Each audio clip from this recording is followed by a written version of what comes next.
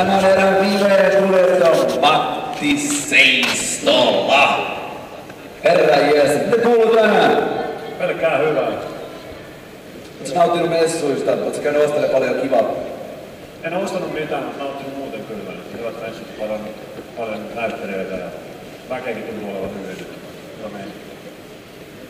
Eilen näimme kuinka Supercrossikin paluun Helsinkiin tai edes Suomeen sisäänhalleihin 20 vuoden jälkeen. Muistatko yhtään edellisiä sisäklassikilpailuja tai Supercross-kilpailuja?